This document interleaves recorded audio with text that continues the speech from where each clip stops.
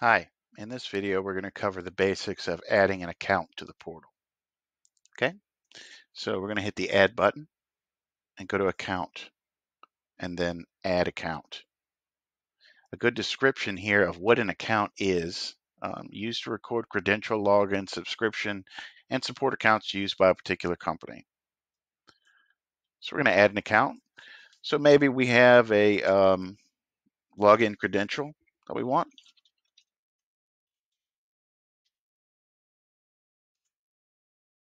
And then we'll say which company name it is.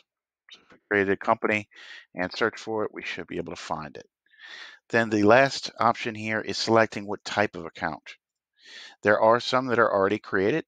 Um, as an administrator, you can add a new one right here, but alternatively, you can go into uh, the admin settings to groups and types to add more account types if you need. So we'll call this, since it's a login account, that fits nicely here. And we'll go ahead and click Add Account. Okay, now the account has been created and it's giving us the edit window to allow us to add some more information.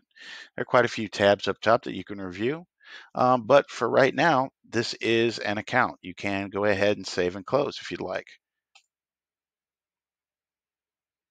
So that's the basics of adding an account. Thank you.